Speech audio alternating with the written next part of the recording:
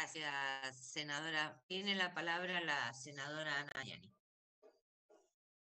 Gracias, señora presidenta. Simplemente para decir que este no es un paso más ni un paso menos. Sí, yo tengo que poner en valor la decisión de nuestro bloque entre el 20 y 21 de diciembre del 2017. Yo recién había asumido como senadora de la provincia de Santa Cruz en el Senado. Nosotros tuvimos la iniciativa de reunirnos con los familiares de aquellos héroes que hoy seguimos reconociendo, valorando y buscando también justicia por ellos.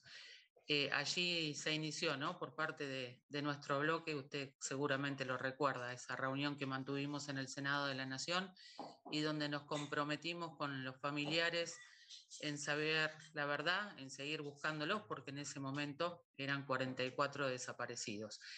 Y luego vino la bicameral, como decía la senadora Elías de Pérez, con un trabajo sumamente comprometido e intenso de muchos de nuestros colegas eh, tanto de diputados como de senadores.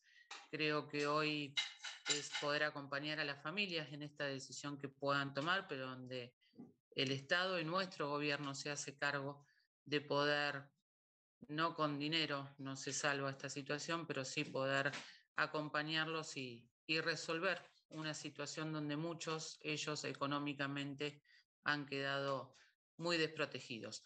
Así que voy a estar acompañando, pero seguir acompañando también los pasos que tengamos que dar como, como representantes también del Estado en que sea justicia por nuestros 44 héroes del Ara San Juan. Muchas gracias.